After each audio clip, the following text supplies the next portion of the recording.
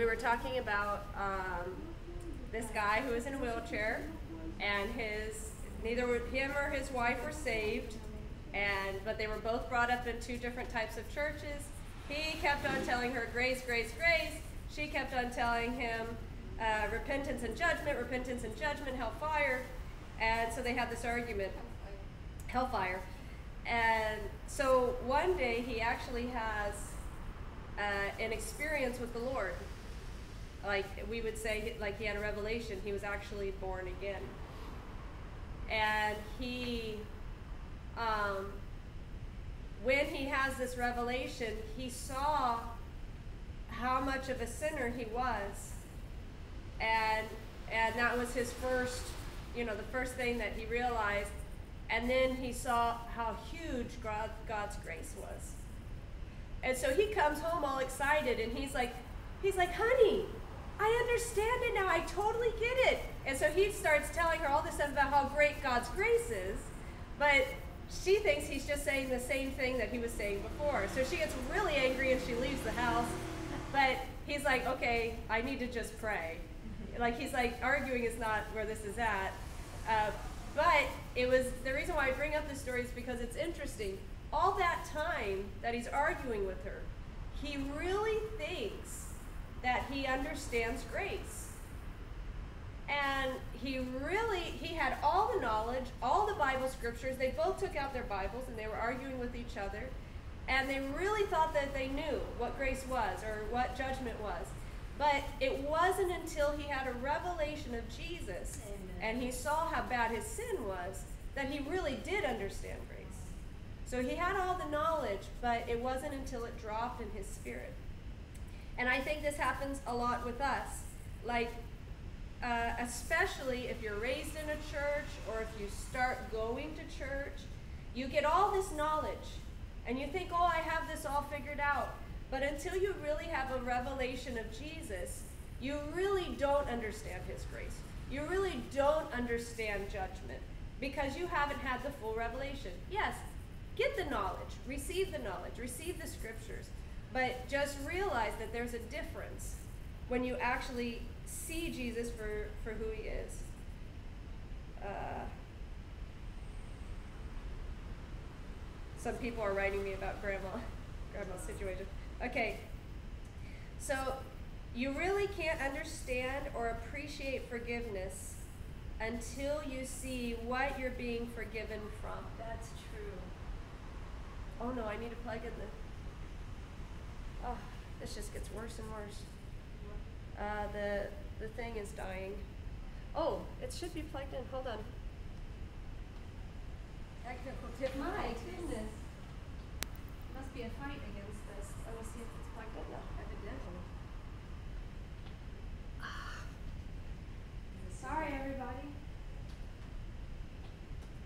Don't worry. Is it working yet? Oh my god. Okay, it's yeah, it's about to die. Hold on. Switch gears. Why isn't this working? That doesn't even make sense. taking a charge. I don't know if that plug is not working or.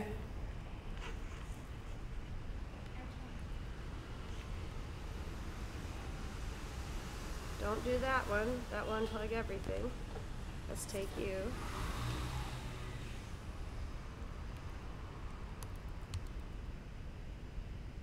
Nothing. This is crazy. Let me bring mine. Is it the charger?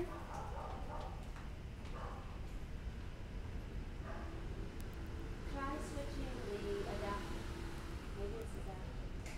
Unplug the battery. This is, It'll tell us to see if it's. yeah, there. Okay, it's working now. It's the adapter. Oh, Do you have one? I was gonna Yeah, pull let's that one out, Here, Karen, I'll- put it aside, it's broken. Here. If it's not, um, Plug it in that one and unplug the other one. Okay, we got to figure it out. The blood of Jesus. You got a little British over here. Charges out. yes, it's finally there. Heater is open. Finally. Okay, and we're missing this one. Yeah. Everything to. I, I'm almost like I don't know they just buy energy drink because I'm like that. Well, let's hurry up and jump into some scripture before something else happens. This is crazy. I have one sugar crumbs I have sugar free ones. It'll kill you. All right, so I heard a minister say it this way You cannot forgive a man until he knows that he is guilty. That is not fully true in the way that, I mean, you have to forgive people in your heart. But what he means is, like, if you're a, a parent and you're teaching your children, when your child does something wrong, you can't just forgive them, forgive them, forgive them, because they will not grow. They will not learn something new. They will stay where they are and they'll keep repeating the same mistake. And so, with your child, you make sure you explain to them you did this wrong, and this is why it's wrong, and this is how it hurts people, da da da da. Then, when they know they've done something wrong, they can say, I'm sorry. They can repent. They can stop doing that thing. And then you can give forgiveness. But until somebody knows that they've done something wrong, they can't fully receive forgiveness. So the Lord has perfectly arranged the law to show us what it is we do wrong.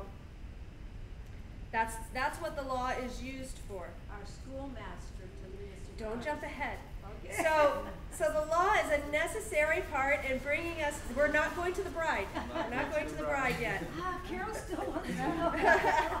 See, see, Pastor I'm how it. See, now you know how it feels. I'm so So throughout the so the law was necessary part to bring us to grace.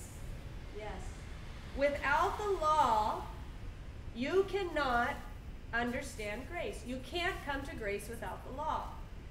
The law was not the end, it's not the purpose, but it is the means or the pathway to bring us to the promise. So, in in the Old Testament, we can see two threads. In the Old Testament, we see that the law starts with Moses.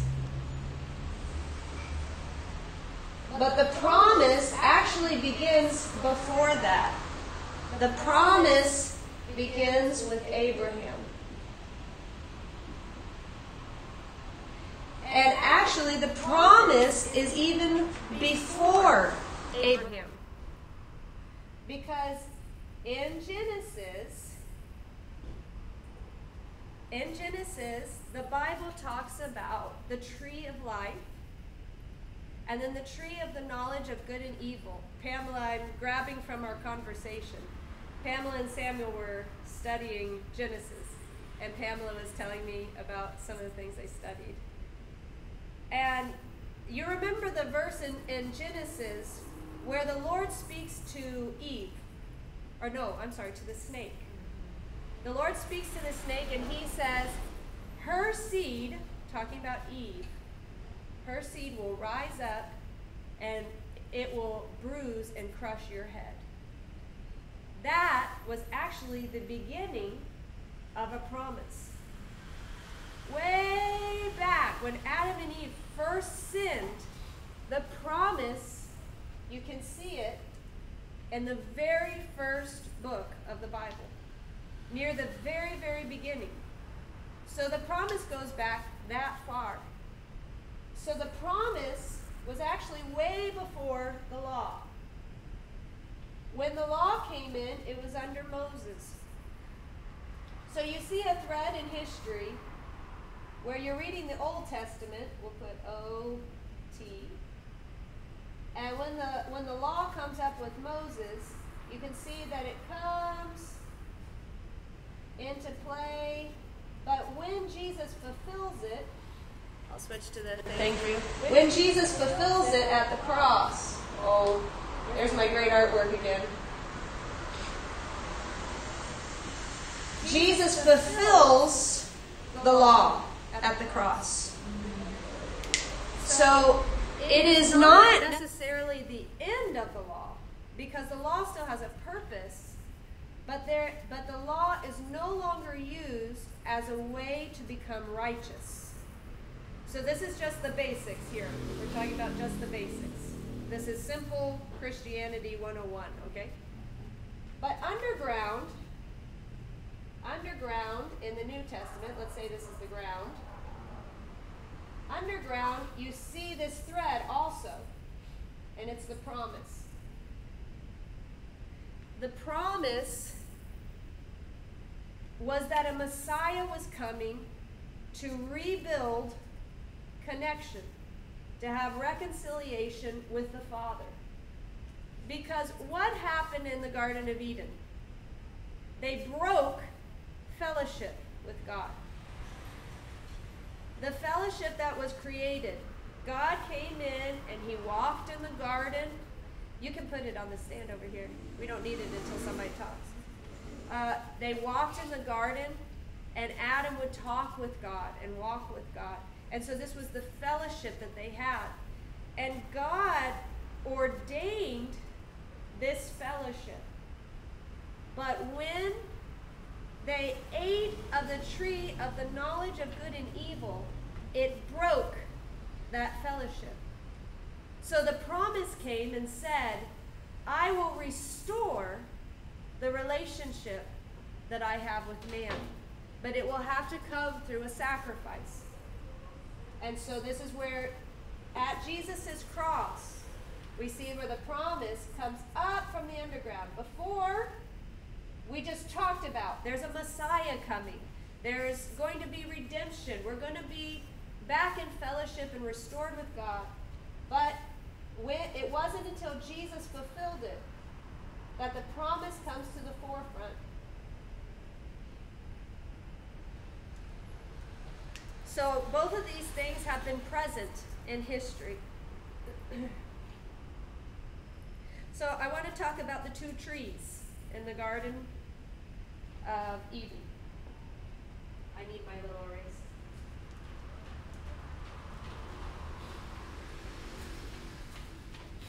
In the Garden of Eden, we had two trees. Does anybody remember the names of the trees that I just mentioned? The And tree of life and the tree of knowledge of evil. Yes, good and evil. Good and evil. So we have the tree of life. Mm, We'll put life. That looks, looks like a nuclear bomb. But mom says it looks like a nuclear bomb. Let me try to add some. Now I got it. Now it has branches. See, that's obviously a tree. What is that, a bird? Yeah, it's a flying tree. And then here's the tree of the knowledge of good and evil. So we're going to put knowledge here. K, K, O. Don't mess me up. Don't mess with you. Okay, that's my wonderful handwriting. So this thing started with a promise, and I got to show you guys my great artwork. I know you want to see this. Here's here's the tree of life. It actually has branches, and then here's the tree of knowledge. Uh, yeah, they kind of look the same, but anyway. So the thing started with a promise, the promise that was given. So there was always a tree of life offered. In the Genesis, this tree was in the garden. It was there. But Adam and Eve never ate from that tree. They never they never took the fruit from that tree. They never enjoyed it. They never uh, partook of that tree. So was God, I'm sorry, No, you're fine. um, Audience. audience, sorry. Just kidding. So was God kind of testing their free will here?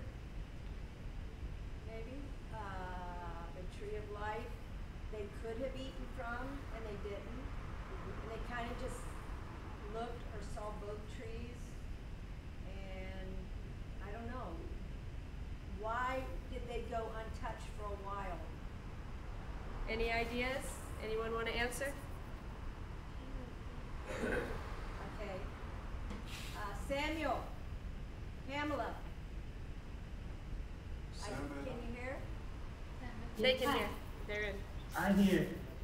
Why do you think, what, you guys, why do you guys think, because I want to include you because we can't see you, uh, why do you think the tree of life and the tree of knowledge was there probably for some time before either one was even, Was God testing them Was to see? to build trusting, no? Say it again. To build trusting, because God is not like Mhm. He's not um, dictating Yes. that he, you need to live the life you need that I'm building for you. Yes. I'm just I'm giving you guys The uh, option. the option to stay to stay here Mhm. in this am- amazing place, but you can go and live like a miserable life that we're living right now. That we're living. That we are living in the present. we're delivering the present. So that's the way that we trust God. You know, like we can plan. It's for example, we can plan our lives. We can um, schedule things, but all goes in God's willing. So the tree was there to build confidence between God and um, to Aiden and Eve. Well, that's my point of view. You know? but maybe, Not bad. maybe they were supposed to eat of the tree because, uh, when they were thrown out, it said, uh, let's take them out before they eat the tree of life and live forever. yeah. So maybe there was a choice there, but why didn't they make the choice? Why did they wait till Satan tempted them? I'm just wondering if they had an idea. Does anybody anybody have any comments on this? Does it- Why did God offer both trees? And they didn't do anything with it for a while. Why? Well, I believe that God knew Satan was able to deceive them, Mm. and God not only knew that Satan was able to deceive them, that Satan was acting under the permis- permission of God. Yes. So, I believe the fall of humanity was determined. Somehow God wanted that to happen. That's Yes. what I Yes. That's a very But good why did they consider the tree of life? The way I see it is that how, how God built love Can you guys us. hear him? No, can you guys hear me? Someone tell me? Well, I can hear you, but I cannot listen. Speak a little louder. Okay. yeah, I speak a little. Okay. Uh, the way I see it is that how how God built love in us, you know. So I'm gonna gonna, gonna take some word that Liz Elizabeth Lisa said, and I'm gonna change the word for love, you know. Every every time in our life, every day, every second, every minute, I English. Yeah. Uh, we are surrounded by choices there that are not God, you know, and that's what make us have uh, how do I say uh, free will? Yeah. So that's what make us have free will. It, that it, that is what make us love more God, because when God was talking to the creation, He was talking like with the he, he talked with the sea, and he he created the, the fishes and the, the The the animals anim- from yeah, the animals from the, the ocean. He talked to the to the earth and he created the, everything that was there. And he talked to himself and he created us. And he always wanted to have this relationship with us. That's the way I see it. So when you put something that is not from him, is the way God's uh, actually the way I see it is the way that God show us like you have other things to to to go, but when we stay with me, like when the fishes stay with in the water, it's better for you. Yes. So it's like um, the Lord is letting us know that there's there's a choice. Yeah. So in the garden, they had a choice. and uh, that's what I'm hearing from what everybody is saying.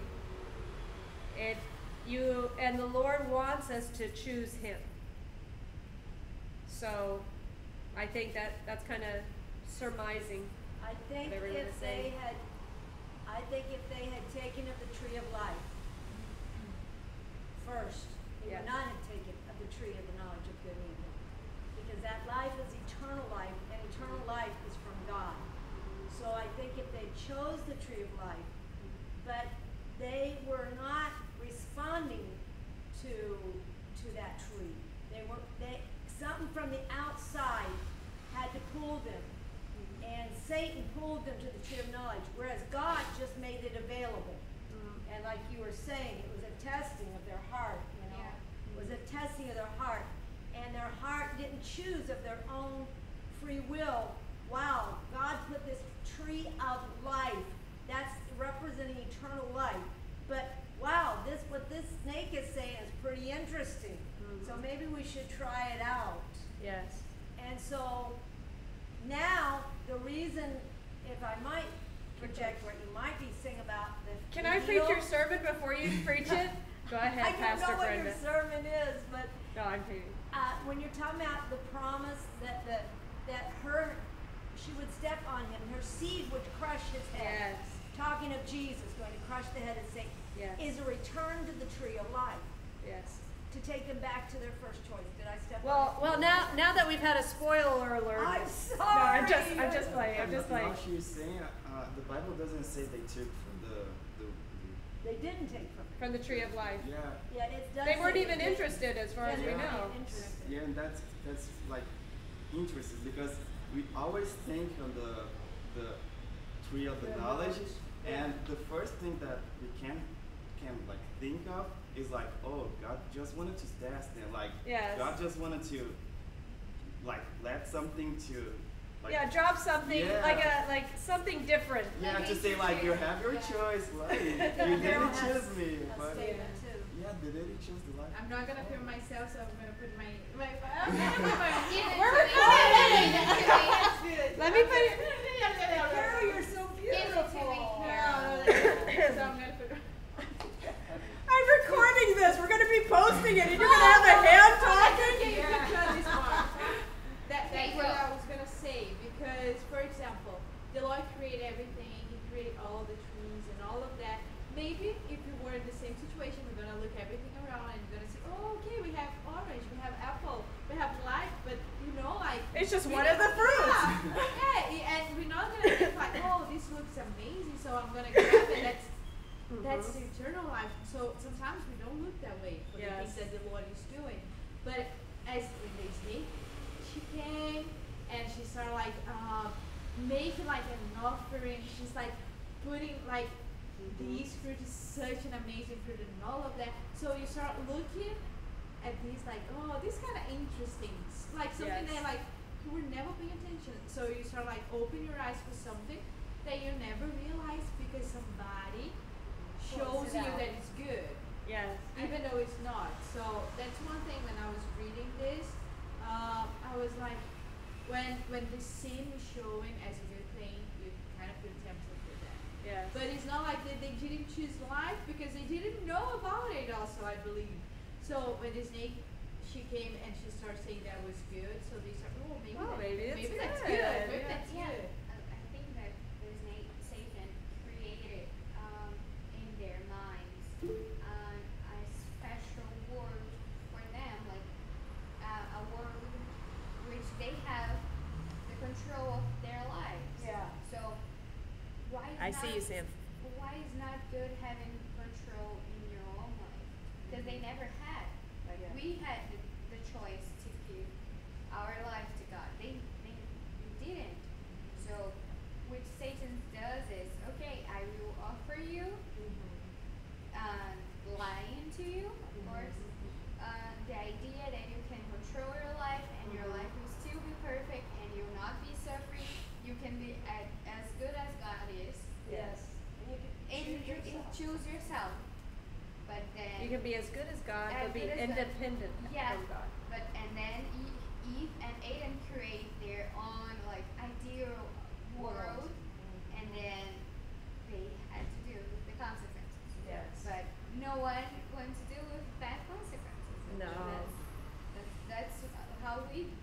Yes. in our lives. So And Samuel, what if, Samuel has something to say. okay, let me say this No, real you're quick fine. and then I'll give it to Samuel, of course. Okay. Uh, I think perhaps, you're talking about, what, what I re- heard when you were talking about is advertisement, advertisement, advertisement.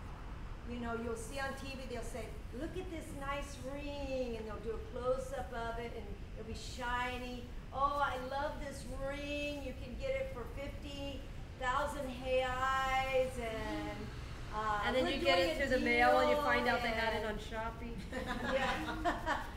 um, because it's being fed into your, My your senses. conscience system by seeing and seeing and seeing. Yes. Perhaps the tree of life was very plain. Perhaps it had nothing flashy.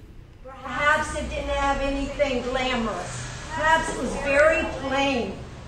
Maybe it was just very uh, like like just like a one of those green leaves there. Rebecca, right here, point to one of those. Okay, hold on. Perhaps it was perhaps, She's okay. uh, perhaps it looked just like couldn't help herself. something like this, okay? Maybe the tree of life was just like this. And maybe the tree of knowledge was like this. So which one looks more amazing? But maybe that was a test of God. Which one are you going to go for? This one or this one? Maybe it's looks something like that. Go ahead, Samuel. I think the point is not the temptation and the tree they were going to choose. I think the tree of life was able to give them eternal life. But God, I think God thought like this. I created you, I give this nature to you, and now I can have a relationship. But what I want you to have is purpose. So I will take off the nature you receive, and I'll give you purpose that you need me. And you will know why you need me because you will die.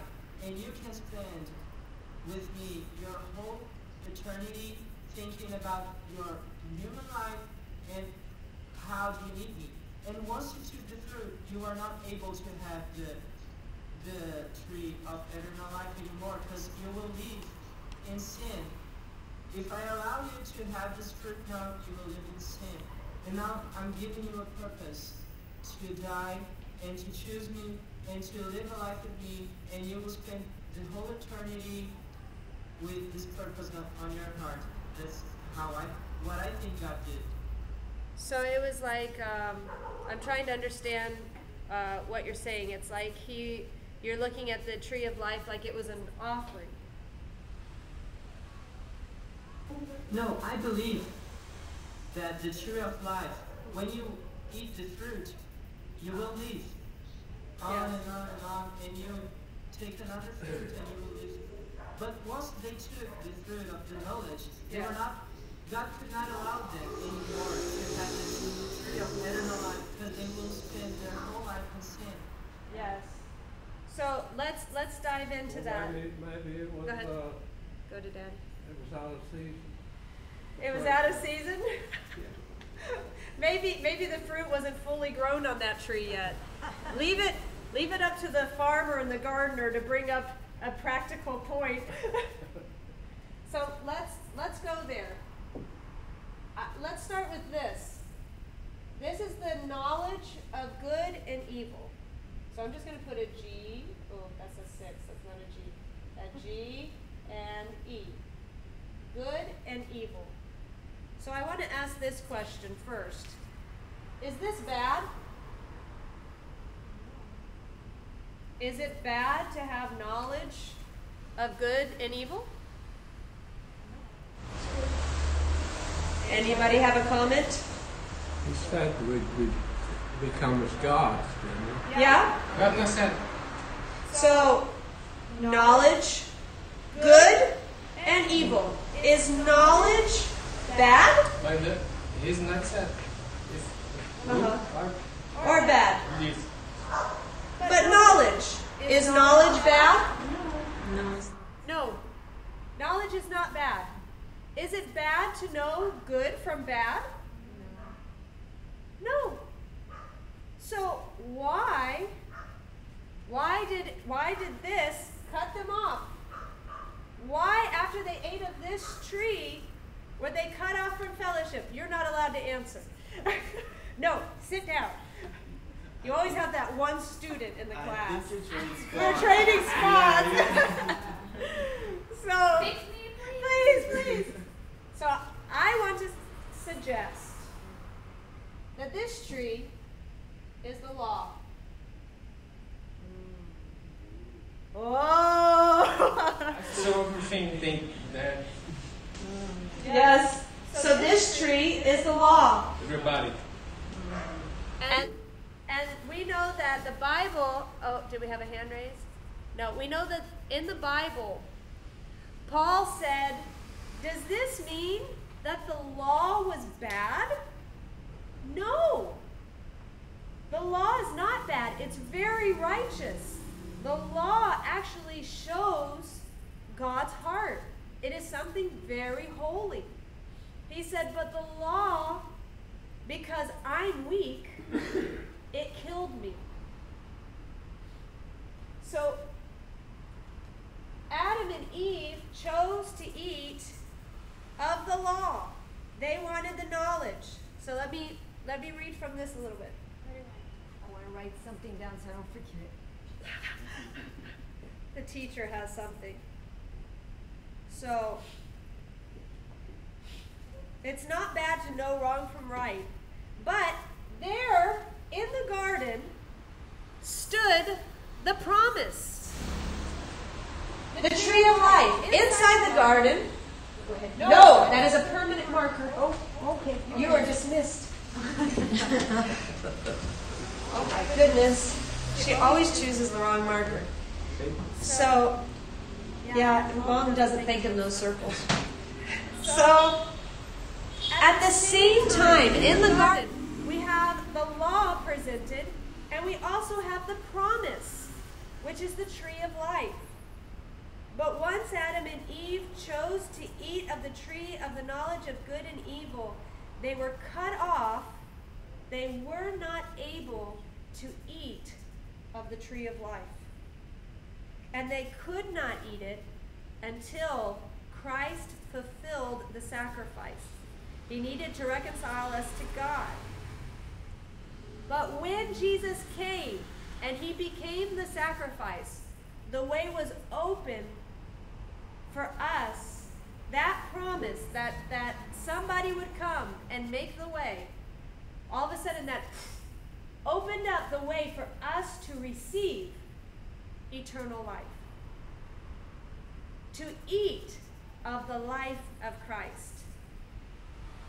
In this way, Paul tells us that if we pursue righteousness by the law, we are automatically excluded from, from the righteousness which is from Jesus. So, you are not allowed to go here. You're not allowed. Are you sure?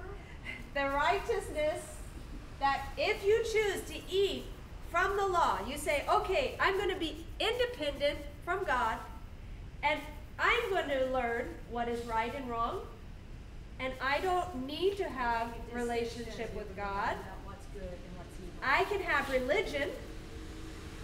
I can make my own decisions. You are choosing to find righteousness through the law. Automatically, you are shut out. You are not allowed to eat of the tree of life. Sister, Yes, take it. sorry interrupt you, but I need eat because I'm freaking hungry and I need to do my bag for tomorrow. So sorry, I need to leave now. Okay, love you, Pammy. Brother, little brother, come and call me all the time, so I need to be attention for him, give attention for him too. So I need to go now, but text me later about the lessons. Okay, love you, Pammy. I love you guys. Jesus Bye. Christ. Bye. Yeah. So, but if you eat of the tree of life, it is the same effect. You are automatically separated from the law, or finding righteousness through the law. It's kind, it kind of gets crazy, okay? Righteousness by faith is not, however, something to be taken lightly. Because in many ways, as humans, we automatically try to pursue righteousness through the law, like a shortcut. We make our own morals, we live by a standard.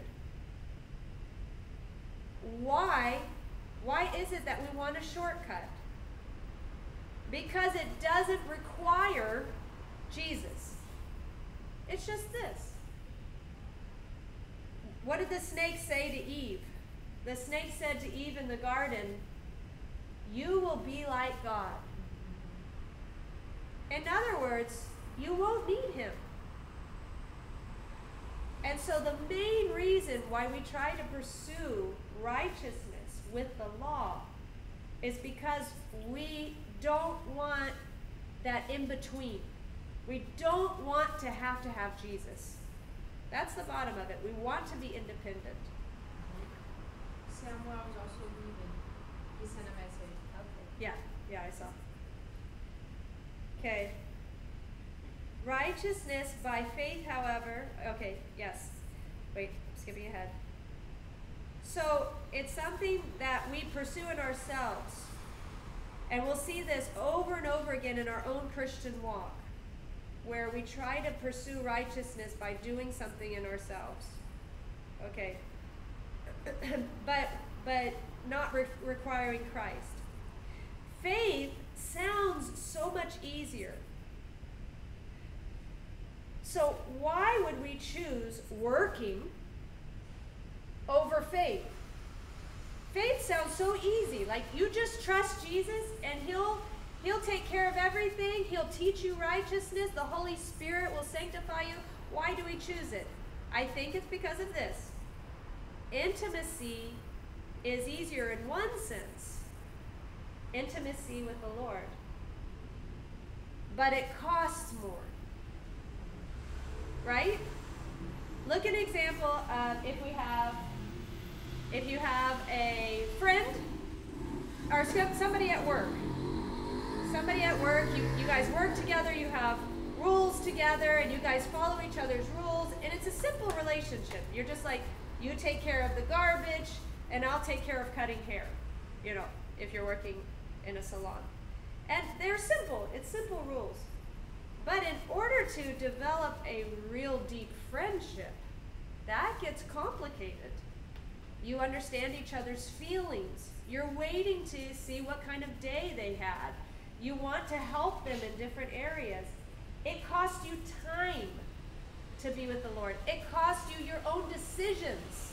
Because if you want intimacy with the King, you have to let Him make the decisions. So, I want to ask this question.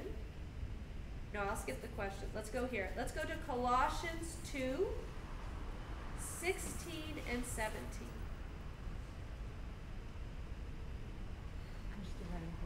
Oh, oh, you just can't hold that, can you?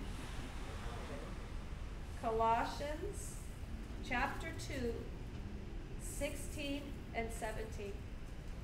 And whoever gets there first raise your hand. I knew it. I knew Liz was all over it. you want me to read? Yes, and I'm going to turn on the audience cam. Okay. Oh my goodness. Okay. Um, let no one disqualify you. Uh-huh. Uh, therefore, let no one pass judgment on you in questions of food and drink, or with regard to, uh, to a festival, or a new moon, or a Sabbath. Mm-hmm. Keep going. And these are shadow of the things to come, but the substance belongs to Christ. So I want us to notice two words. Shadow, substance. What do you right, want me? Right up at the top. Oh, you want me to? Okay. Shadow. So the law. Now we have it under the category of shadow. Shadow but the but life is the substance. What are the words used in Portuguese? Does anybody have the words in Portuguese? Ah, shadow seria sombra. Sombra y Ah, substance seria substância. so sombra y substancia. But let me see in the Bible how we translate. Okay. I don't think they are the The same. same words. Yeah. Okay. And it, in different versions in English, they use different words too. But I do like this version for our lesson tonight. King James. The, this one is ESV. I think. Okay, uh, They're substance they call in the in the in the Brazilian version Uh-huh. raízes, which are like Roots? roots. Huh, Yeah, Interesting. because And then they are called like they are saying almost like the the firm foundation in God. gotcha. And then what about shadow? Shadow uh, stays the same. Shadow Okay. stays Okay. But still, we have the same essence. We're talking about something that's really founded, and then something that's just kind of the. It's a blur. imitated. It's a blur. It's a blur, it's a shadow of the thing. Go to Hebrews 10, verse 1.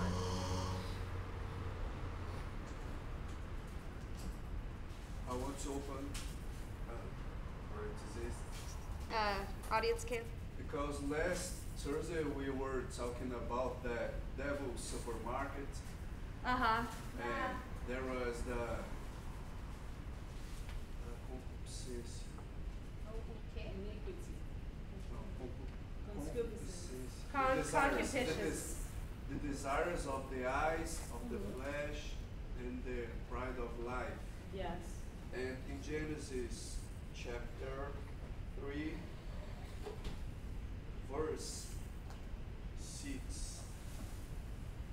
Hebrews uh, Hebrews 10, 1.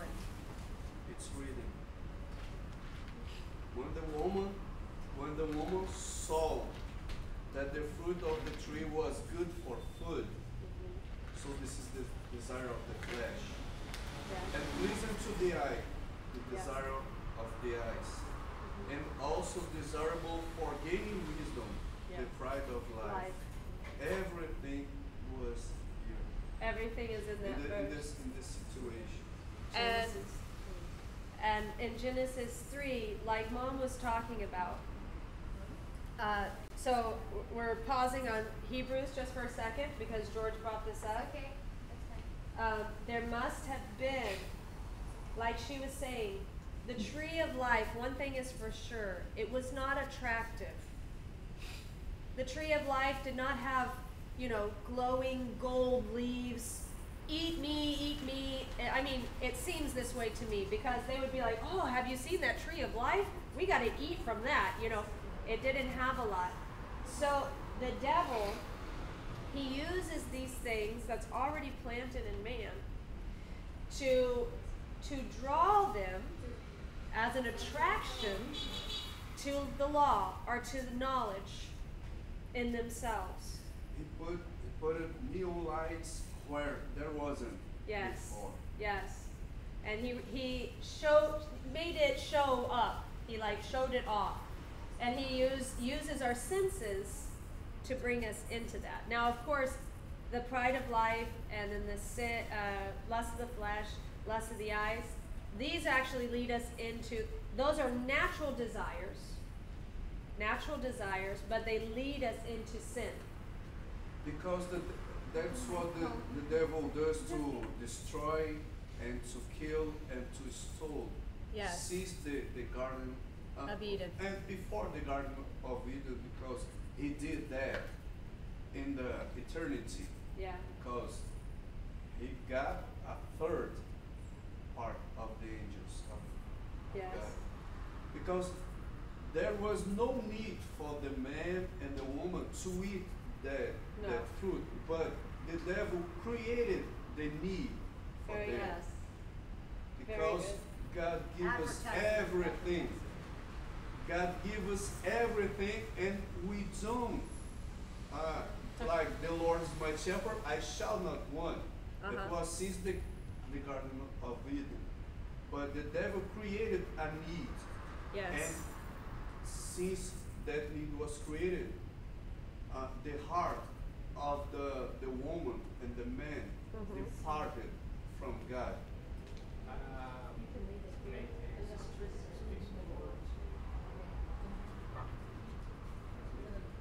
Can you translate for him?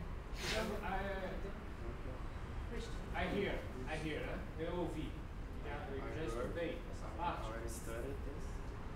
E And é, o que eu ouvi, na verdade, o que I foi me ensinado é que Eva foi tentada nas suas três partes: no corpo, na alma e no espírito.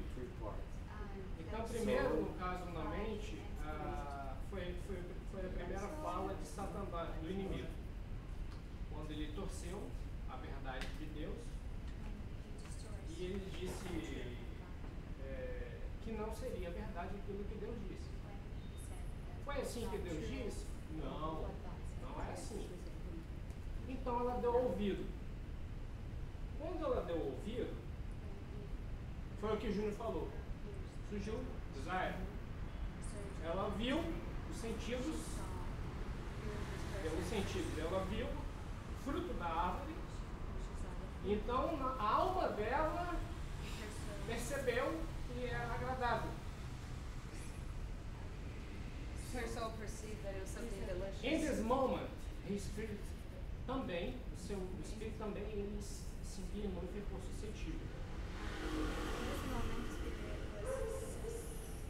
Então, juntando os três, quando ela, como ela, se- ela se rendeu aos três, né? Os sentidos, o corpo, a mente, a alma, ela desejou e o espírito falou, deixa eu ver se é isso mesmo. Então ela foi e cometeu o pecado. Mas foi um processo que Satanás, na verdade, ele, ele iniciou, plantou no coração dela, ela recebeu aquela raiz, aquilo brotou, e ela foi lá e cometeu o pecado. Não foi só simples assim,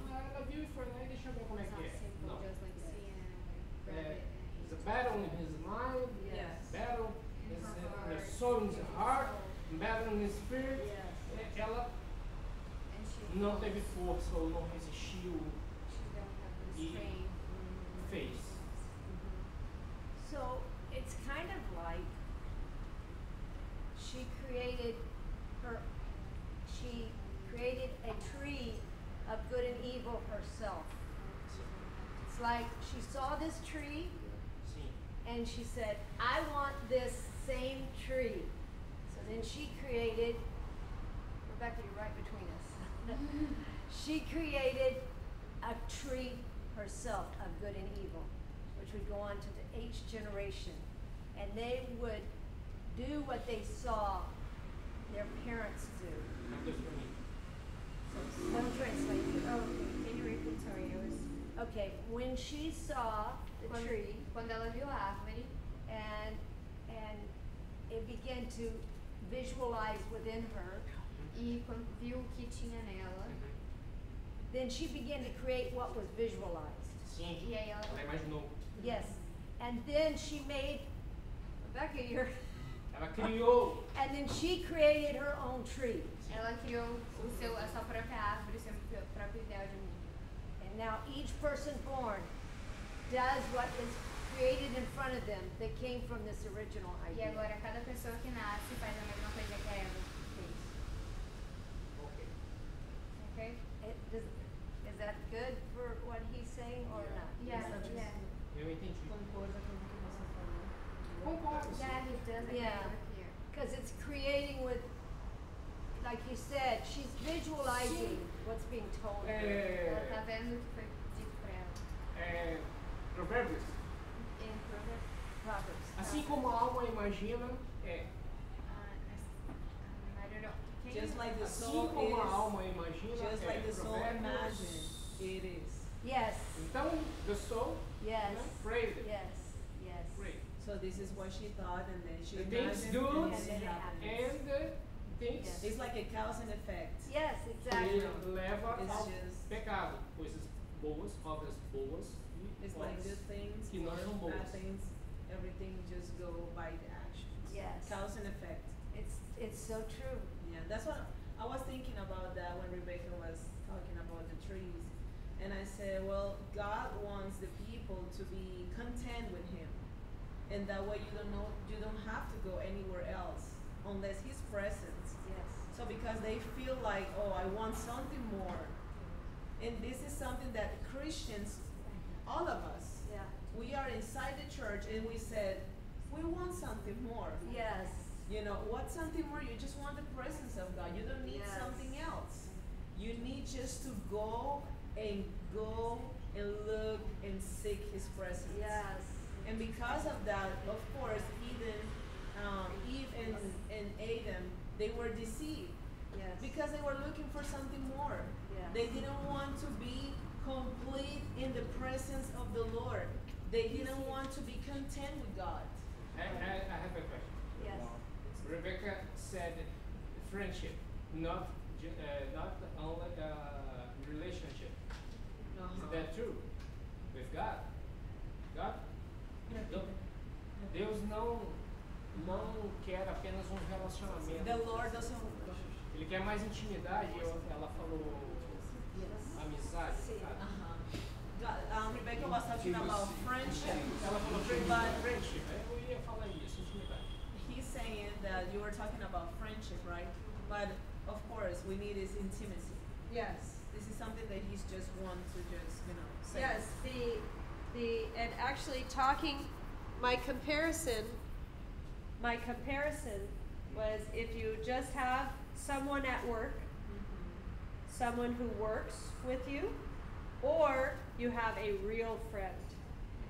So a real friend you have to have intimacy. Yeah. It's necessary to have intimacy, but it's more difficult Yeah. in some ways, but it's better Mm-hmm. and more easy. Get, we got God. Yes. With God, you want intimacy.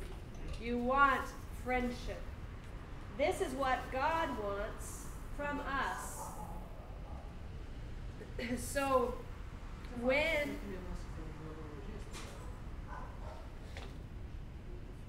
when we when we eat of the tree of knowledge it's independence independence god says this his law says this i will do i will do i will do i will do. It's me. I will do it. I will make sure everything is right. But the law when it's when it's used properly you try to do it and you can't. This is this is natural to man. We we naturally want to if we if we care about doing the right thing we naturally want to try try try and this is an important part of the process because as we try to fulfill God's law by ourselves, we realize we don't have enough. At this point, you have two choices. One, you or there's three actually. One, you ignore God's law. I'm just going to live my, my life with sin, whatever I want, by my desires. I will tell my conscience, no.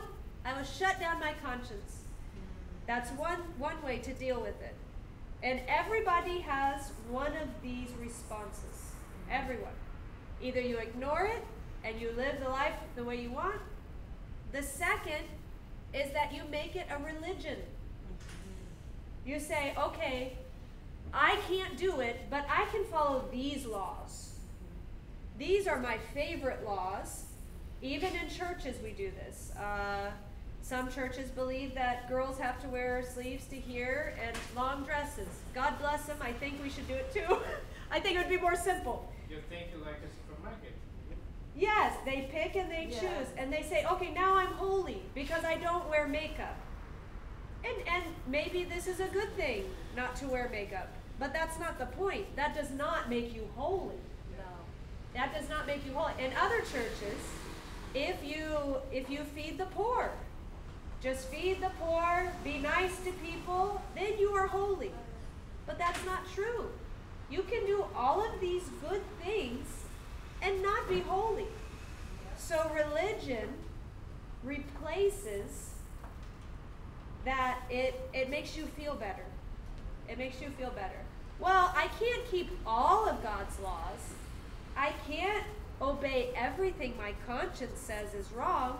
So as long as I do most, as long as I can do these things and the majority of things that I'm doing are good, then I'm okay. This is religion. It's the way we say in English to pacify. To pacify yourself. It's like with the baby. The baby wants milk, but you don't have milk yet, so you give them a pacifier.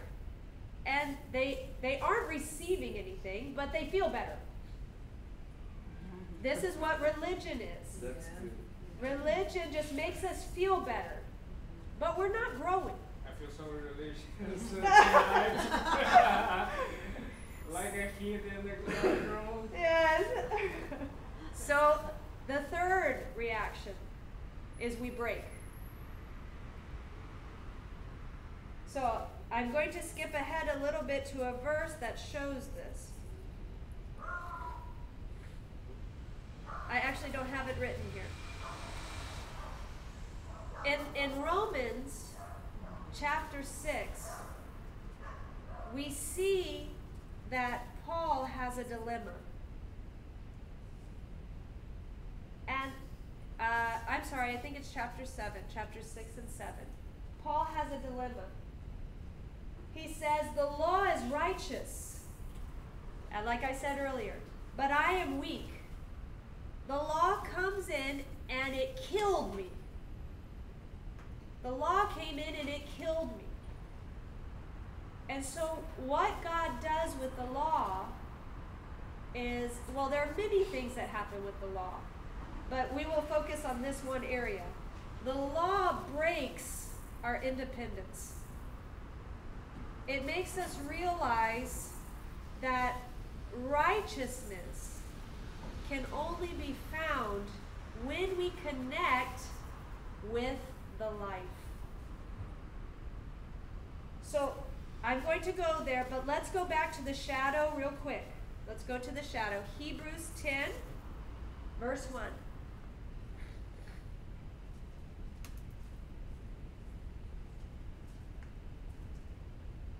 Hebrews 10. Verse 1. If you have it, go ahead and read it. The law is only a shadow of the good things that are coming, not the re- realities themselves. For this reason, it can never, by the same sacrifice repeated endlessly, year after year, make perfect those who draw near to worship. So, what Paul is saying here is the law is a shadow. It cannot make you perfect.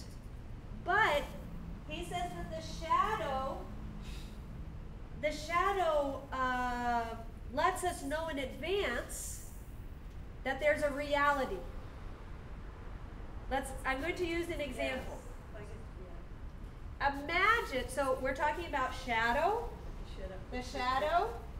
Yeah, calm, calm down, student. We're talking about the shadow and the substance. We're having parties in our head. No more parties. No, I'm playing. You can have this. It's okay. I've got the word of God. It's, You, it's you, good. can, you can have it, but don't say anything. Yeah, but don't, but don't pronounce it. You need to learn it. Yeah. So we're talking about shadow and substance, or shadow and reality. We can say this. Imagine if you're blind. Okay, you're blind, you can't see. And you fall down. And you have your arm is hurt. But you are walking in the middle of nowhere. And and you say, I need to go to a hospital. So you find someone and you say, you find an Uber driver in the middle of nowhere. I don't know how this happens, but you find an Uber driver and you say, Is there a hospital around here? He's like, Oh, yeah, I think there's like one hospital near here. I can take you. You pay me, I will take you. and so, so you're like, Okay, you Is know. he Colombian? I don't Eh, and so this. And he's doing like this. Yes, please get in the car. I don't care. Just give me the money. I will drop you off anywhere. I'll take you anywhere. I will take you anywhere. So, so you get in the car. You're blind, remember, and you have you have your arm. You're holding it. So the the Uber driver drops you off, and he says the hospital is in the middle of that field, and he he drops you off at the field, and you're like, well, could you could you help me find the building? And the Uber driver says, I can't. I only have three minutes limit, and I have to pick up my next passenger. So you have to find it by yourself. And then he drives off. That's not a very caring Uber driver, but for our imagination, we shouldn't have gotten out of the car. So now you're in a field. But you have no idea. All you feel is tall grass. You can feel rocks. You're blind. You know that the hospital is in this field somewhere. So you're searching like this, trying to be careful, and you're very desperate because you're hurting, you're in pain. You know you need a hospital, and you're walking around blindly. And suddenly you break another arm. And then suddenly, You just can't find it just gets worse and yourself. worse. So, but all of a sudden, it's hot.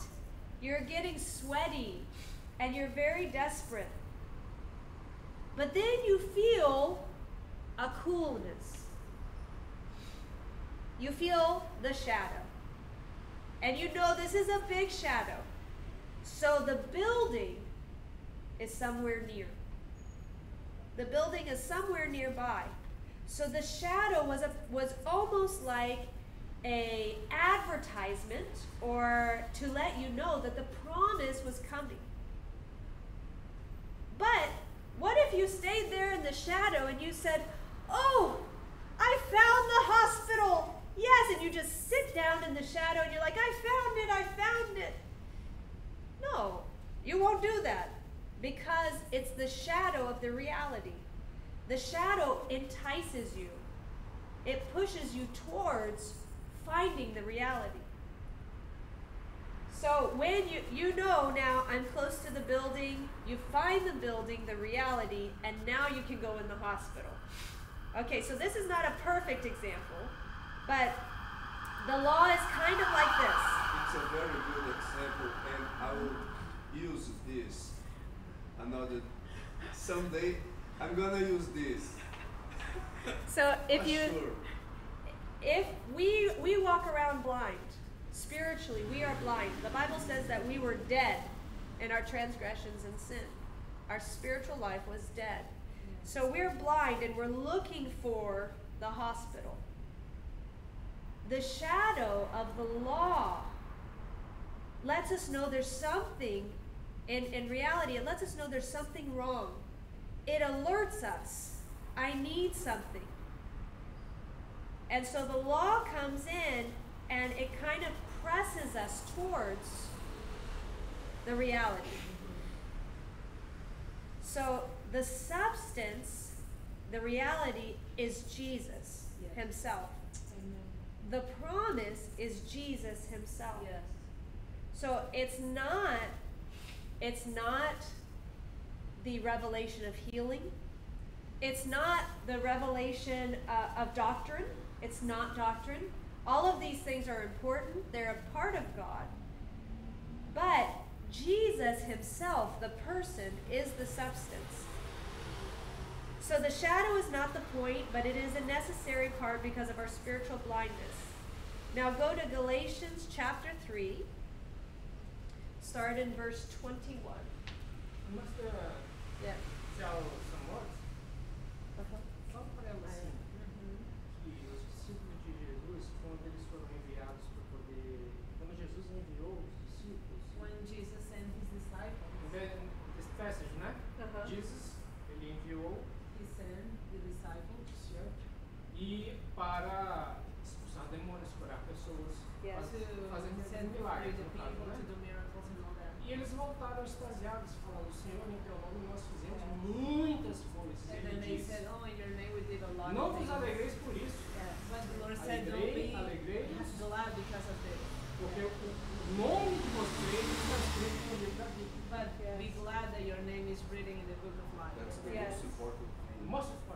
Yes. Percebe que Yes. isso é diferente. And and this this is good because it brings us back to the tree of life.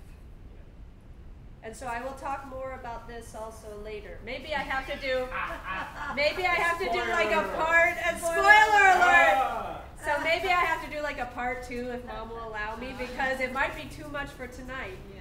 But we are talking about the life. And that's what this scripture is talking about. So no, no, you're you're allowed to spoil. Everybody's allowed to spoil. This is okay. Because I want us my my goal like tonight and usually when we talk about the scripture is for us to explore together. I want us to really think about what the Bible is saying, why it says it, how it applies to us. And so the fact we all give something, it means we are all thinking about the same thing. So this is important to me. We're just exploring. The things that I write here are not like, it's just something that I think about when I'm reading the Bible. And so, just like you guys, you're in your Bible time and you, you write things. And some of it might not be right. And some of it might be uh, might be right. And we talk about it and we explore together because I didn't have time to do like the Greek and the Hebrew and to dig deep. So we're all allowed to contribute, you know?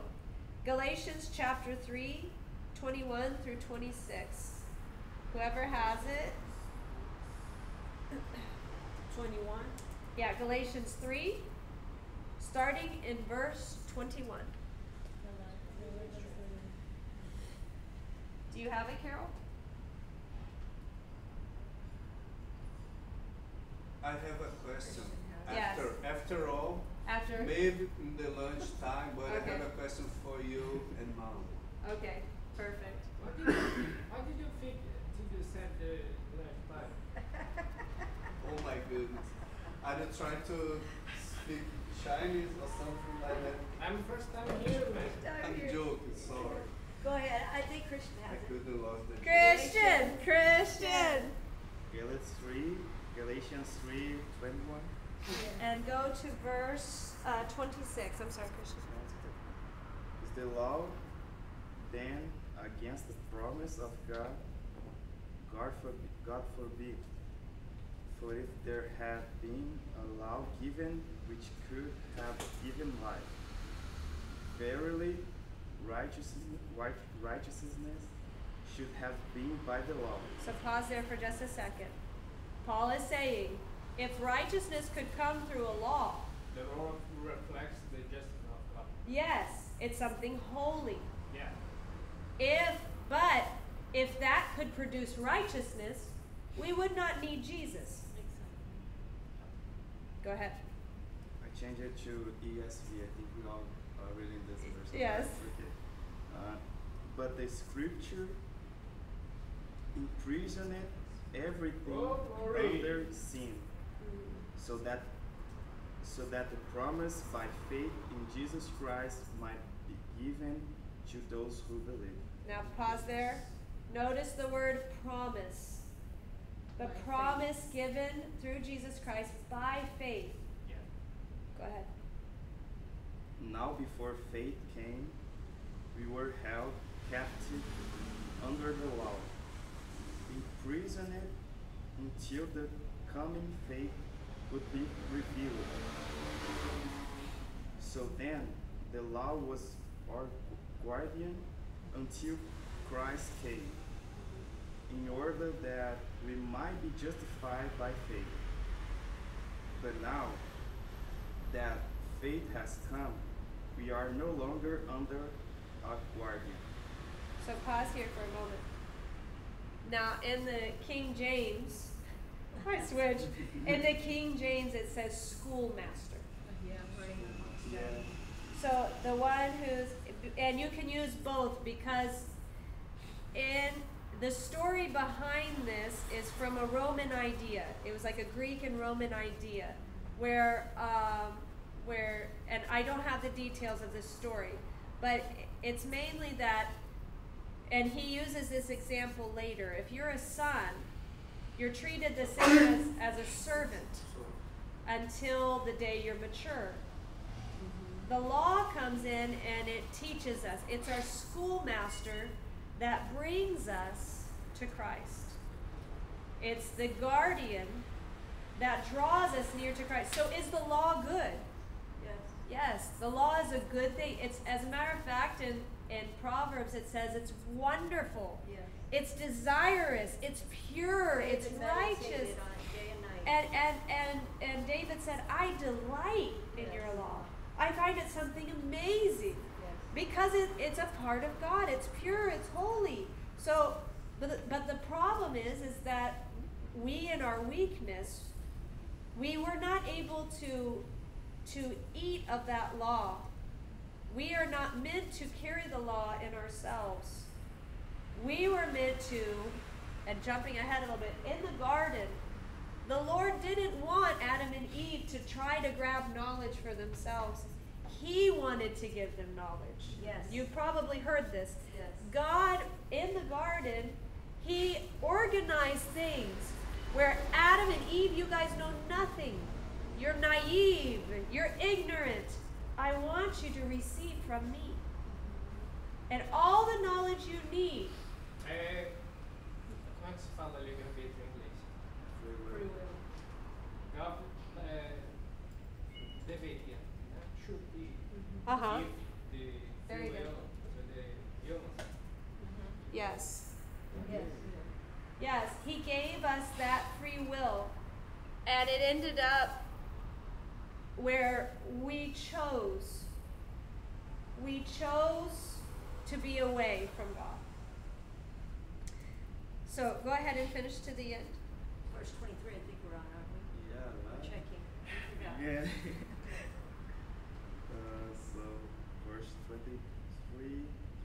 before faith came, we're, we were captive. Under the law, I think I wrote this. Okay. So, 24. Wherefore the law was our schoolmaster to bring us into unto Christ, that we might be justified by faith. I think I wrote this also. Okay. But after that, faith is come, we are no longer Oh, yeah. under a schoolmaster. Mm-hmm. For year, for year are all the children of God by faith in Jesus, in Christ Jesus. For as Is that many 26? I Yes. yeah, it was twenty six. Okay, we can stop there. So, so now that that the promise comes, we can finally we can receive righteousness through Jesus. Okay, are you guys ready to continue on just a little bit more? Yes. Okay. All right, so let's go to let let me ask this question. Is so according to this verse, is the law temporary? It's not temporary? No. No. No. It's not temporary. But it just said that when we receive from Jesus, it says that the schoolmaster is no longer needed. So is the law temporary? In time, within the concept of time is, it is, you know. It's like to lead you. To lead you? Yeah, to Uh-huh. lead you where you Once have you find it, as long as you don't go back to sin, you don't need law anymore. But whenever you go back to sin, you need the law again To correct you. to correct you. I So in one way, it's temporary, and in one way, it's not. When you Audience leave camera. time, when you die, Audience? it is temporary. Yes. Yes. Yeah, I think that's why Paul says that we will be like changed in everything. Because uh, when we like we, when we won this life here, we were more. You got a lot of attention Yeah. over here. When we want this life here, which we need to to kind of live under the law, know, because we have Jesus Christ who took from like from us.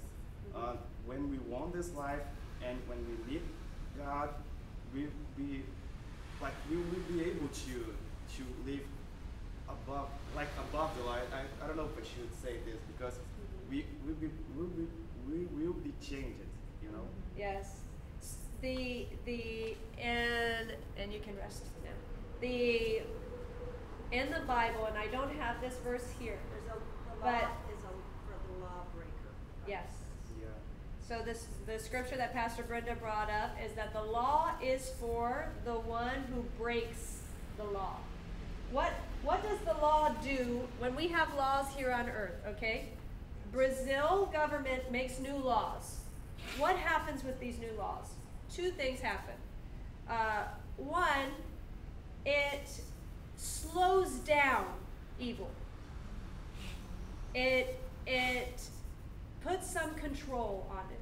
So the law for us at times it will help us to to not get worse. Mm-hmm. Imagine if there were no traffic laws. Especially in Brazil. It would be crazy. It would be madness and people would Crazy die all the time. they would get in fights all the time. So the law helps to help us not to get worse. Helps things not to get worse. And then the law but but does like wouldn't it be cool if I worked in the government in Brazil and every time I passed a law, all of a sudden everybody followed that law exactly. But they don't. Like just passing a law makes everybody perfect. No, you need an enforcement. You know the Brazil very, very well. Know what? You know the Brazil very well. Yes, yes, yes. Well, any country. It would be very good if all you had to do, I mean, imagine all of the Christians would go in government. They would say, all we have to do is pass laws, and everybody will be good. But the law doesn't do this. The law keeps us in correction so we don't go too far, but the law also shows us. So, Carol, she's a crazy driver. And she's actually a very good driver. But let's say in our story that she's a crazy driver. So she's driving down the road and she just passes a stop sign. She doesn't even notice. In Brazil, you can do this, but You in United Brazil States, well. yes, but in United States you cannot. If it says stop, you will get a ticket Even if you there's do not stop. Nobody around. Yes. You stop.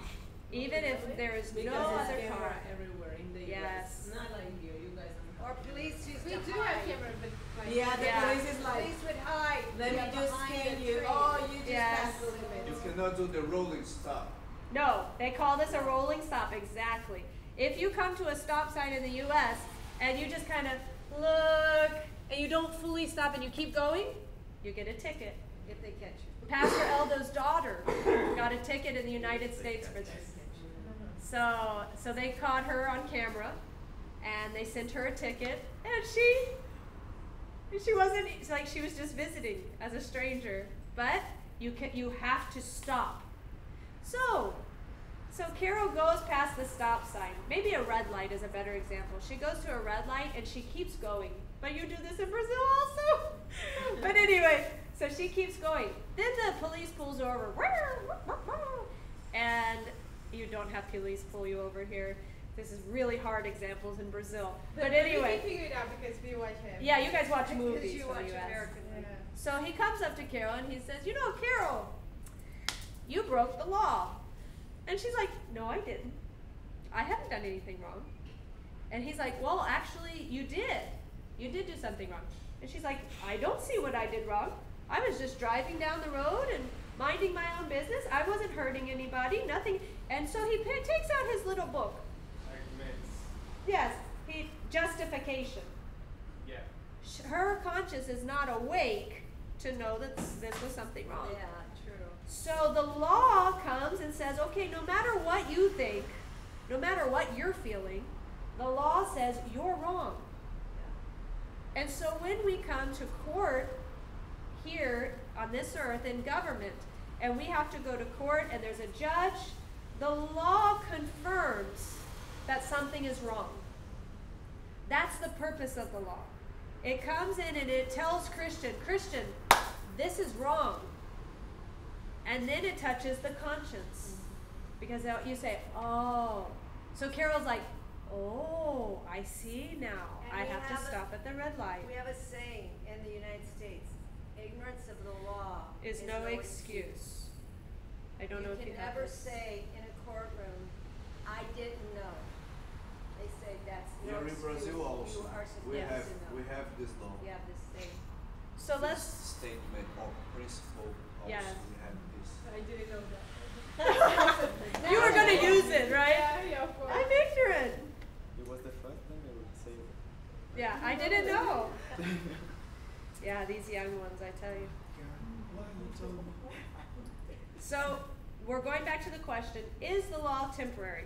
Now, I found this really cool. This was like I was really excited about this. Matthew chapter five, verse eighteen. It's hard to answer because it is and it isn't. yes, exactly. I've gotta close this one. Oh, I'm sorry. Matthew chapter five, Verse eighteen. The law was made for the unrighteous. Yes, for those who break the law. Yeah. Matthew what? Five, eighteen. for truly You I can turn tell the you. camera on, George. sorry, Wait. And go. For truly I tell you, until heaven and earth disappear, not the smallest letter, not the least stroke of a pen, will by any means disappear from the law until everything is accomplished. So until everything is accomplished, till everything is fulfilled, it says, till heaven and earth passes away. the law is here. But watch. Okay, this is where my mind went. Do you guys remember Revelations 21 1? Everybody turn there. Revelations 21 1. We, we talked about this in one of our lessons before. New heaven and Uh. And what does what does Revelations twenty one one say? And Carol, you can I'm going to put this closer to you so you can put it on your lap. You can turn to whoever's talking. Whoever gets it, let me know. I saw a new heaven. For the first heaven and the first earth had passed away, and there was no longer any sea. So the first heaven and the first earth did what? Pass away. It passed away. It disappeared. Yes. But it says here in Matthew that until heaven and earth pass away, the law is going to exist. Yes. Yeah. Because Jesus says earth and and dice, si earth and heaven will pass, but the word never will pass. Oh, don't jump ahead of me. Don't jump ahead of me. No, it's okay. I like it. Okay, so I might be wrong, but by comparing these verses, I'm thinking that the law belongs to time and space. It is a temporary because it is a means for humans to bring us to the understanding of Jesus. But it will stay on earth. Its purpose will always remain as long as heaven and earth are here. Right? Times no more. And then time will be no more, and I think it will no longer be the law where it's written, but it will be written on our hearts because we are one with the lawgiver. Make sense? Amen. Okay, let's go to Matthew. What what what Myra was talking about. By the way, Myra is going to be speaking this Sunday. Woo! So she'll be able to elaborate more, and I'm going to interrupt her sermon and preach it ahead of her. No, I'm just kidding. I'm just on. playing. Saying it I know. It's okay. So Matthew 24, verse 35.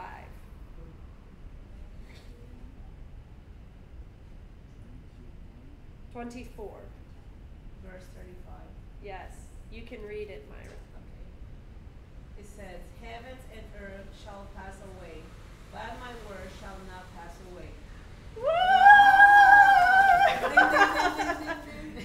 So I was Almost like a prop. yes. Well, um, I'm not gonna say anything. yeah, we'll just leave it there. I don't say that about myself, but my friends say that I'm prophetic. So this is, I, I just thought this was super cool. The law will pass away with heaven and earth. But the words of Jesus Hallelujah. will never pass away. The words of Jesus are eternal. The person of Jesus is the eternal thing. It is the promise. Over here. It is the promise. And the Word was God. And the word was God. It was it's it's the substance. Jesus is the fulfillment of the law. So the question is so his words and he is eternal. But the question is how do we in the garden we were separated from eternal life. The Lord said they ate of the knowledge of good and evil. So now they cannot. I have to I have to put a guard around the tree of life. We were separated from the eternal life which was in Jesus. So the question is now, how we want to be righteous. The Bible commands us to be holy. He commands us to be righteous. How do we receive of that righteousness? We said that in the garden, maybe they should have eaten the tree of life. But I heard one minister say, and I'm not sure if it's true, but let me. He believes that the tree of life may have looked something like this.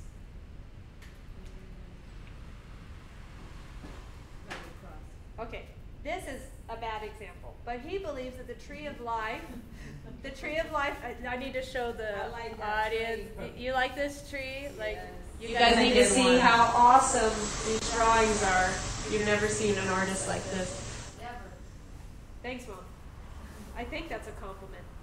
Um, but the tree of life may have looked like sacrifice. Faltou o querubim a espada de fogo.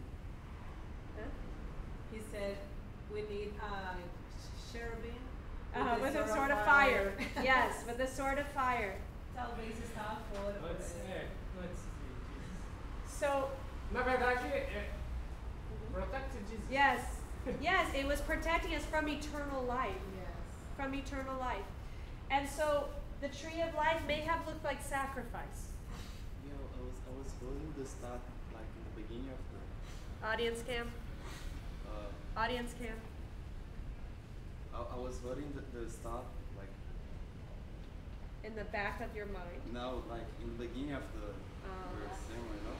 But I I do think that the like the tree of life is, is Jesus, you know, because Jesus when he was like here with, between us, he said that uh, something about like we need. To, I remember this verse in Portuguese, so I'm gonna try to translate again. Okay. But he said something about to tra- take. If you want to follow him, you need to take your cross and follow him. Deny yourself. Deny your cross. Yes. You follow me, yeah. And when you do this, you like you throw like you throw off like your knowledge, you, you throw off like everything that you That's have yours, yes. to live like with God. And when you choose like live under the law, Yes. you give up all these things, you know. Yes, you give up the life Yeah. Of Christ. And I love what Christian said here. When you choose to live in Jesus, you are stripped. We say stripped. Everything is taken away from you that's yours. Remember, Paul said, It's not me that lives anymore, but it's Christ in me. But that takes sacrifice. It requires your life. Strip is like where you if if somebody takes all your clothes off or it takes off your you have a backpack, they strip you of your backpack. They take it away. And you don't have the backpack anymore. This is the word strip. It means like if a like when you have someone rob you here in Brazil, if you're if you're walking, I I had a friend who had this happen. They took his phone, they took his shoes, they took his designer hat, they stripped him. They only left his clothes. Who is this? Matthew. Matthew. They only left his clothes, but they stripped him of everything else. When we choose Jesus, we are automatically stripped of our everything that's us. We are no longer living our will, our life. And And it is something that the devil can like Audio. change or deceive. You know? Yes. Because when you're like under the law, when you're like surrounded by laws, he can say like you can do this, but like in other way, you know, like Yes. you can change The it. loopholes. Yeah, you can change it. You can change that. But when you have like Jesus Christ as your foundation, the as your standard, like he can't like change anything. no. Yeah, it's unmovable. Exactly. Uh, so I want I want to focus a little bit on how we receive this life. Okay? Lifestyle, like uh, everything we want to do is uh, look Jesus Yes. in our face Yes. Every everything that's Everything. Jesus should shine through us. Yeah. But how is this possible? Uh, How do you do this? hmm. I think we try really hard, right? Like this is the way that we've become more like Jesus. We just try. We think, ah, is that Yeah. difficult? Yes. What I have to do? But I have to do it. I have, and you're right. You do have to do it. You have to look like Jesus. yeah. But it's not possible. You will, you know, it's not possible to look like Jesus. Okay, so try. so let me see it. Okay, so I already told you the Bible verse. I will read it myself. It's Galatians 2 19 through 21. Okay, everybody's excited. They want to open their Bibles. This is a good thing. You can go there. Is the bride in this room? Huh? Is the bride? The, the bride is not there yet. I'm sorry. You feel her pain? Galatians Yeah. three, Galatians 2. 2. verse. Start from 19. And I will read it. Okay? Galatians 2, starting in verse 19. For I, through the law, am dead to the law, that I might live unto God. I am crucified with Christ.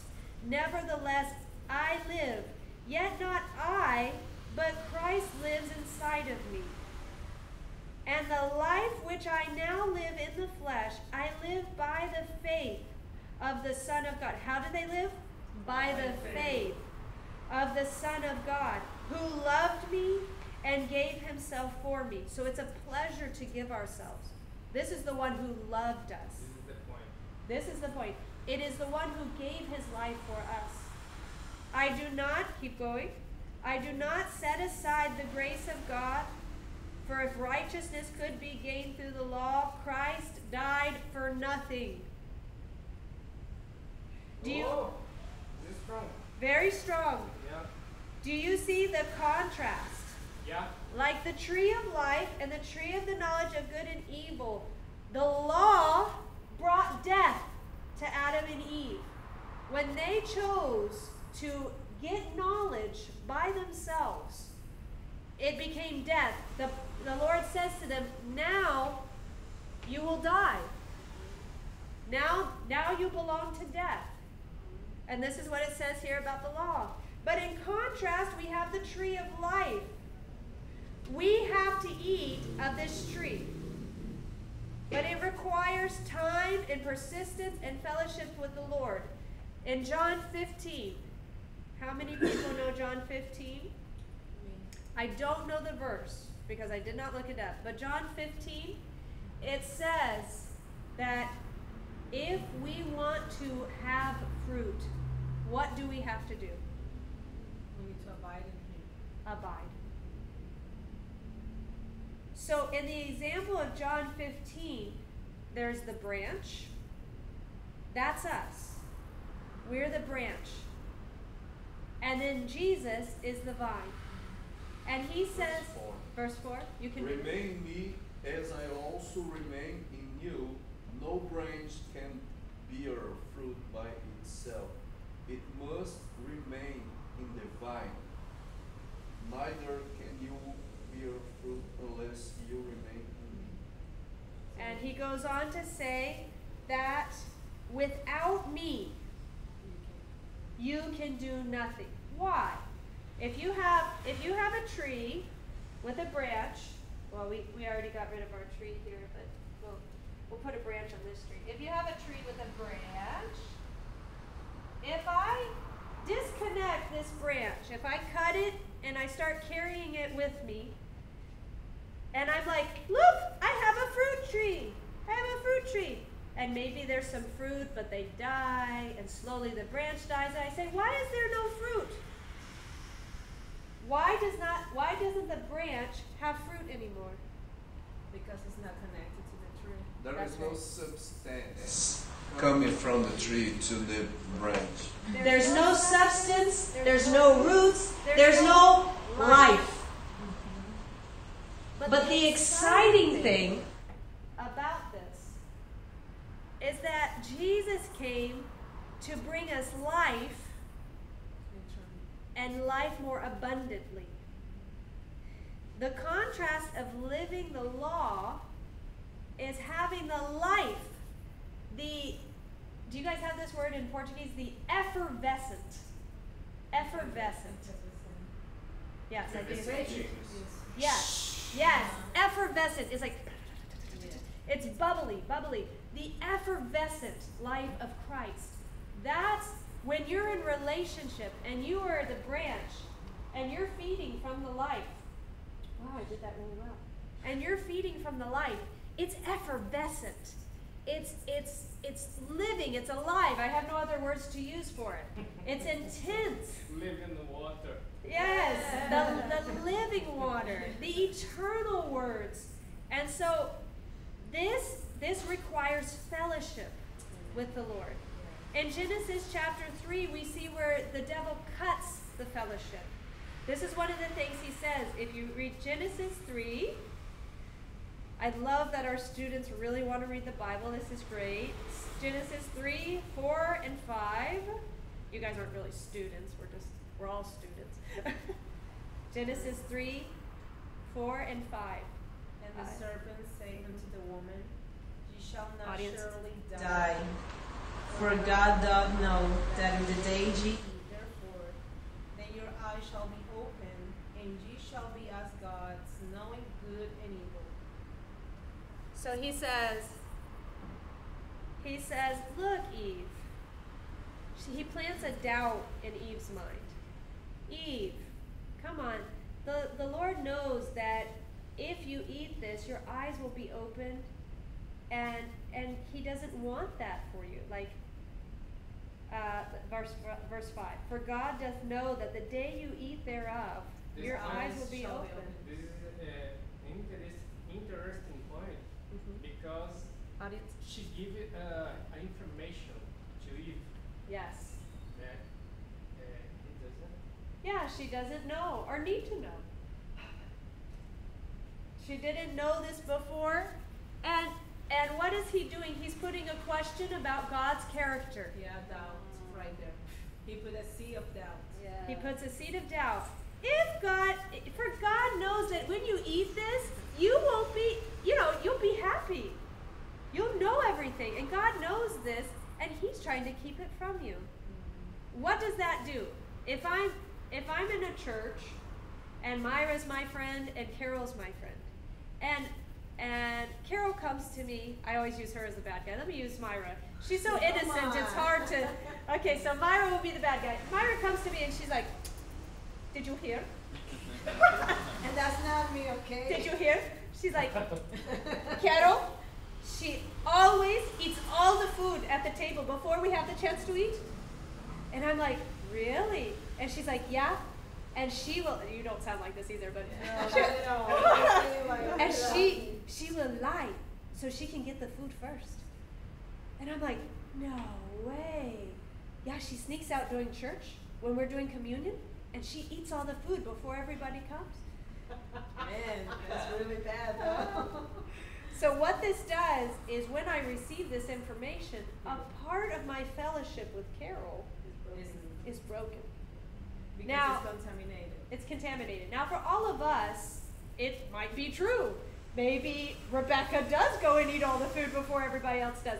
But when it comes to God, he's righteous. There is no there is no darkness in him at all. So this doubt breaks the fellowship.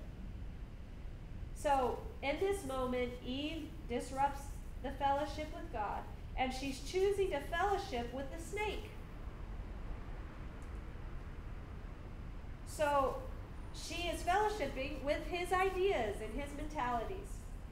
So I will try to speed up choosing here. him over, over She's with the choosing the fellowship of the devil over the fellowship with God. So, what is involved in the promise, and what does the Bible say about the promise, and how do we keep receiving of the promise? Join us next time live here at the small group Bible study because, like I told you, there's like a whole lot more. And I think right here's where we'll stop. Stop. If if I'm allowed, maybe next week we can talk about. Now we know the purpose of the law. We can talk about how we receive the promise. We'll talk more about that, and what the promise means. And so that will be it. Can I, can I cap it off with, with my little? And? Pastor Pastor Brenda wants to cap it off with her note. Come on up, Pastor Brenda. Uh, it's, Oh, you've said that this. that is not fair. you didn't say anything about the bride. And and the God. bride Bride. will eat of the tree of life. Amen. That's it, Carol. That's it. No, That's no, it. it's not. That's not it. That's the second part, though. Second Okay. part, part two. So when she was teaching this, um, a couple things came to my mind. Um, we, they could have had life, eternal life, which They would disregard this tree altogether. They would not want this. If they first, there would be no need. They automatically would be righteous and holy and have eternal life because eternal life doesn't want evil. Under God, Adam and Eve, like she was saying earlier, you don't know bad because there is no bad. Bad and evil are created once the seed goes in. The lie, the little seed goes in. So if there is no seed, there's no evil. So they didn't get any seed until they went here. They were all here. God says, come over here. So they come over here. Let's eat over here. So they go eat over here. They do everything by the word of God. They don't do anything outside. And so when Adam and Eve sinned, God automatically knows there's no communion. Why is there no communion? They're hiding from God. Before they're like, wherever God goes, they go. Now they're hiding from God because they're shame. And When you drink from, from this water, you're not gonna drink any. That's right. When you drink of this water, you'll not be thirsty. And like you or him said earlier about, I shall not want, or you, I forgot who talked about that scripture. Uh, you don't want anything once you get this. You don't want it. But now, since we have done this, then we're going to have, this was life. Now we have to die to get life. You have to die to yourself. You have to die to the sin in your life. You have to die to your will, your independence. We are no longer independent of God. If we're going to come back to life, we have to learn to be dependent. And that's why Jesus said, I do nothing unless the Father shows me. Yes, even he gives the example of dependence. And we weren't independent till we ate here. If we'd stayed here, we're totally dependent. There's no idea of anything separate. And she would have never had an idea if she had not ate. When she ate it, the seed went in with what he's saying. God's holding back from you. And so from now on, whenever we complain, and I have to tell myself this all the time because I complain in my head about the garbage to be taken out or or the dirty floor. I complain in my head all the time. Every time we complain, we're being ungrateful and unthankful and unholy. And so we have to die now to get back here to life. We have to die to ourselves because this tree is Cain and Abel. This is Cain and Abel. Abel said, God said, give a sacrificed animal. And Cain said, no, I'm going to give you vegetables because that's the best I can do. My best My best is what I can do. So I'll give you what I choose to give you. He immediately chose to be independent for what Because the Bible says that that Cain really did give his best. Yeah, he His did give his absolute best best. vegetables, but it was not what God It's asked what God for. asked for. God didn't ask for his best vegetables. He doesn't ask for our best works. He asked for obedience.